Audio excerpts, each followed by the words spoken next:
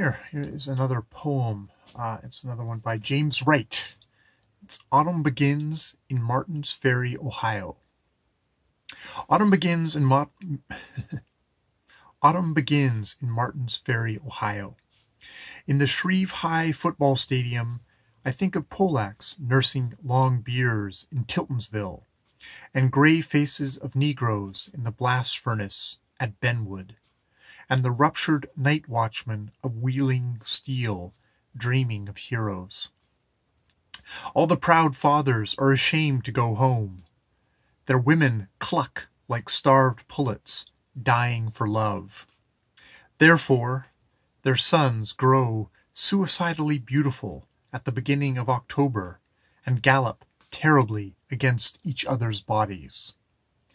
That is Autumn Begins in Martins Ferry, Ohio by James Wright. More videos later.